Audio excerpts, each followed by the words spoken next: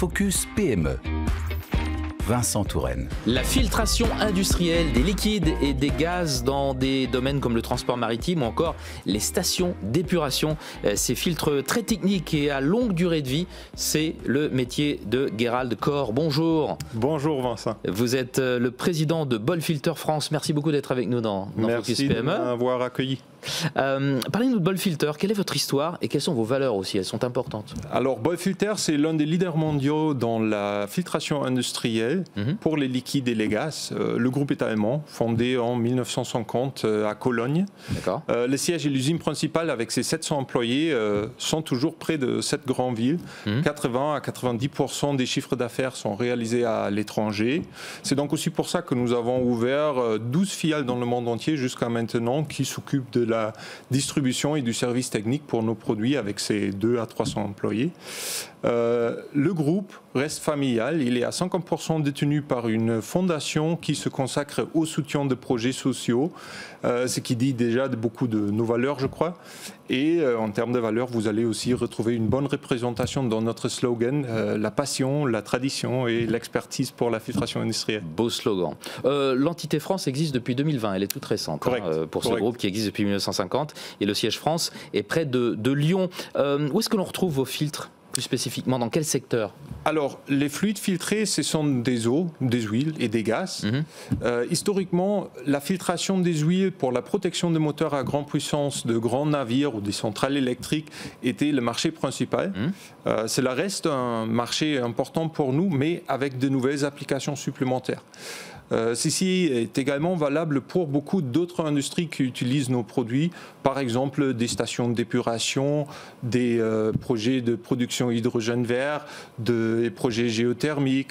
euh, ou des industries plus classiques comme l'acier ou le papier qui essayent d'améliorer leur efficacité énergétique et réduire leur consommation d'eau. Comment est-ce que l'on innove dans votre secteur? Est-ce que vous avez un exemple à nous donner? Boilfilter dispose de son propre euh, dé- euh, département de recherche et de Ouais. développement. Euh, nous développons tous les jours de nouveaux produits et fréquemment en partenariat avec nos clients. Mhm. Un bon exemple, c'est euh, la nouvelle filtration membranaire en céramique que nous fabriquons nous-mêmes depuis l'année dernière.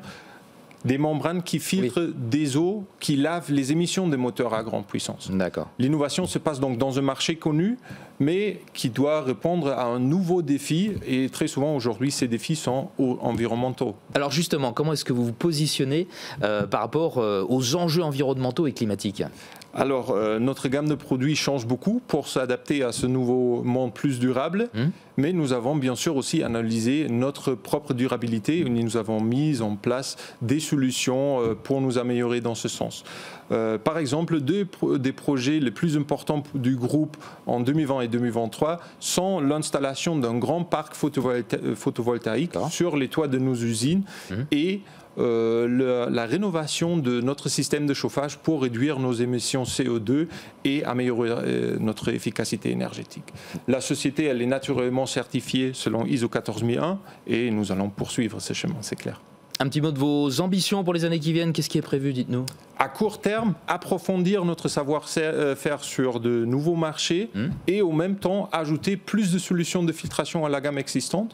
À long terme, nous aurons sûrement besoin de plus de succursales dans le monde entier pour rendre accessibles toutes ces dévolutions que nous développons tous les jours. Cap sur le développement donc. Merci beaucoup Geralt Corr d'être venu jusqu'à nous dans, dans Focus PME. Je rappelle que vous êtes le président de Bol Filter France. Au revoir. Merci. Focus PME sur BFM Business.